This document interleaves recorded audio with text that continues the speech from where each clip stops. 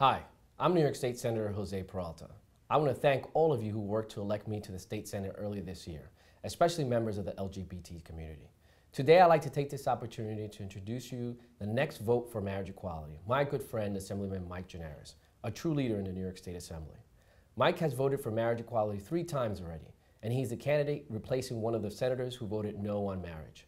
You have my vote for marriage equality, and Mike's election to the state senate will mean we've picked up two votes for marriage equality since last December's vote. Mike? Thanks, Jose. Jose Peralta's election earlier this year was a great win for those of us who believe in full equality for LGBT New Yorkers, and a win for those of us who are working to change the way Albany works. I'm proud of the votes I've taken for marriage equality in the Assembly, and I'm ready to do it again in the State Senate. When I'm elected, not only will I be another vote, but I'll be a vocal advocate for this bill. I'm also happy to report that four anti-marriage Republican senators have announced their retirements.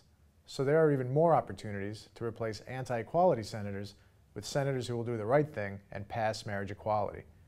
I want to thank LGBT New Yorkers for their longtime support and let you know that you've got another strong ally heading to the state senate. It's now two votes down, six more votes to go to make marriage equality a reality in New York.